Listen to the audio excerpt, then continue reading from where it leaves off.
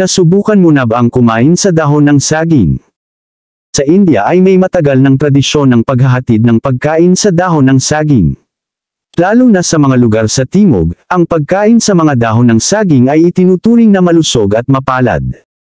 Most people use banana leaves to serve an authentic South Indian spread on festivals and family get-togethers.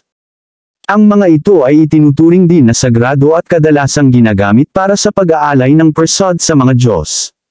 Ang mga makakapal na dahon na ito ay sapat na malaki upang maghain ng multi-course meal mula sambar hanggang chutney. Maaari mo ring gupitan ang mga daong ito sa iba't ibang laki at ilagay sa isang pinggan ng anumang sukat.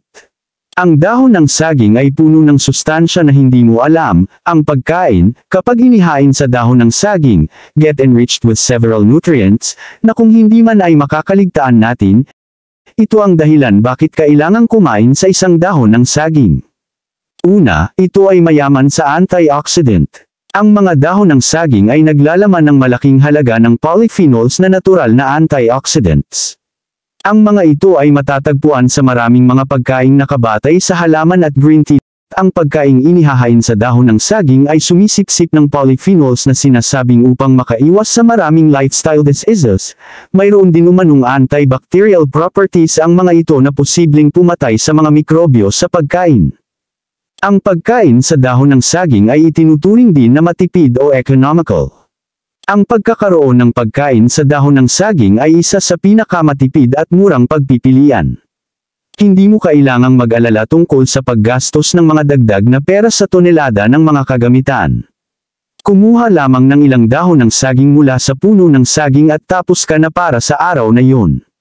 Banlawan lamang ang mga dahon ng tubig at pwede na itong gamitin. Isa pa sa dahilan nito ay eco-friendly.